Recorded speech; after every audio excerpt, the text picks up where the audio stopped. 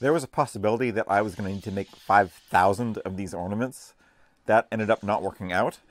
But if it was going to work, then they needed to go on and off the lathe in 20 minutes or less. And so I'm presenting this video to you in kind of real time so you get an idea of how long it really takes. Um, but nobody wants to watch all the sanding. So that just gives us a chance to talk. Originally, I was trying to go straight from the bandsaw and put the square end into the chuck and not use the tailstock at all. That ended up not working out quite so well. Ooh. Mm, yeah, not so well. So I got the tailstock extension and another live center that I could modify to get more clearance for the router bit. And that worked okay for the shaping part, but I couldn't use the tailstock during the spiral cutting part, and sometimes they would come loose in that step. Another problem I ran into was that I was doing the partial part at the bottom as the last step, and sometimes I would get a lot of chip out doing that, and it would just ruin the ornament. And it's a real gut punch to ruin the thing this is the last step.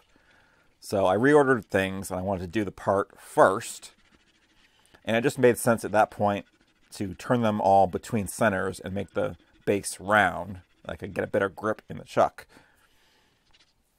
I kept using the tailstock extension anyway during the shaping part, though I wish I hadn't because that extension ended up damaging my tailstock and now it's really hard to move in and out.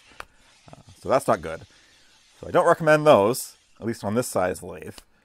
Doing the part first created a new problem, which is that when I'm cutting that spiral, when it gets to the end, if I've done the part first, then I've already removed material on one side of that cut, which tends to cause the bit to deflect at the end. Now that's fixable though with a round file, and it doesn't take very long to do that. So that was better than potentially ruining some of the parts. Wow, I'm still sanding. Okay, well, um, there's lots of ways you can support the channel. Uh, you can like the video, you can leave a comment. That actually helps a lot. Uh, you could become a patron. You could go to my Etsy shop and buy an ornament.